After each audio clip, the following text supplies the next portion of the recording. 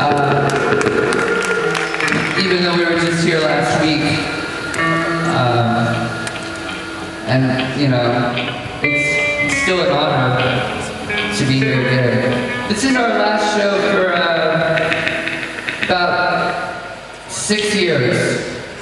So, um, well, six years isn't like dog years maybe, but the the point is, it's gonna be a very long time before we play again, so we're just enjoying ourselves. Um, I'm kind of abusing this this synthesizer. Uh, Thurston Moore is up next. I hope you guys have enjoyed it, all the bands today, and uh, all the bands you've seen so far in this festival. We'd like to give a shout out to Ponies, who uh, played a really raucous set last night. This song's called Calvary Scars.